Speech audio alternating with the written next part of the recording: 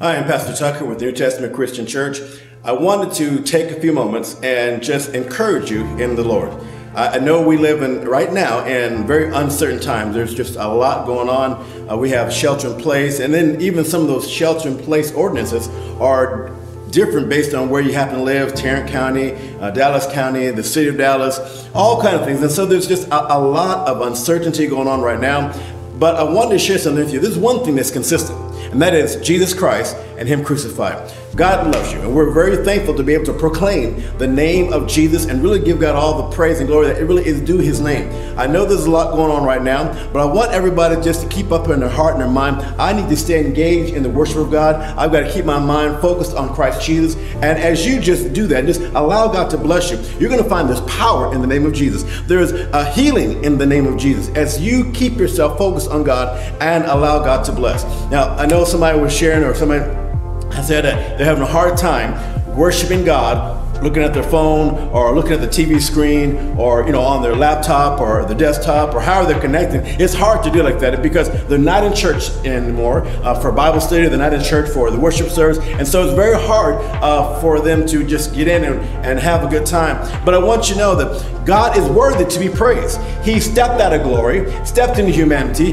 took our, uh, on, on, for us all the sin of mankind, and died on the cross for us. If he can do all that for me, I can make up my mind to worship him to the best of my ability. So we have a shelter in place ordinance right now where we're not able to come to church and worship God, but that does not mean that I can't give praise to my God. I want to encourage you. Hey, let's get in and let's take it, uh, uh the responsibility. Stay engaged. Stay in a love to anybody today. But I believe that as a Christian, we have to take responsibility of ourselves and make sure we are engaged in our circumstance. Right now, we need God more than ever before. We need His mercy, His grace, we need God's healing. And as we stay engaged in the worship of God and make up in our mind, I'm gonna do all that I can to worship God, you're gonna see how God can bless.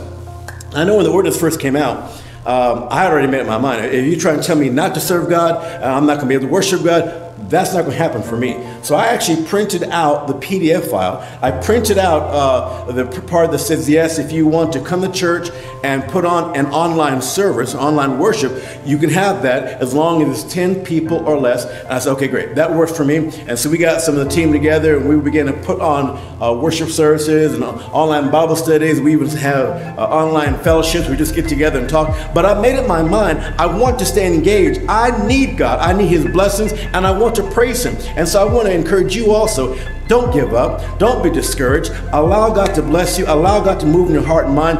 But take that step and get yourself engaged in the worship of God. I, I know right now, this again, there's a whole, whole lot of uh, uncertainty, but we have uh, resources put together to help people out. Now, this Sunday, is our Resurrection Sunday service. And I know that it's uh, a lot of times people are, have been looking at how in the world we're going to have an online Resurrection Sunday service.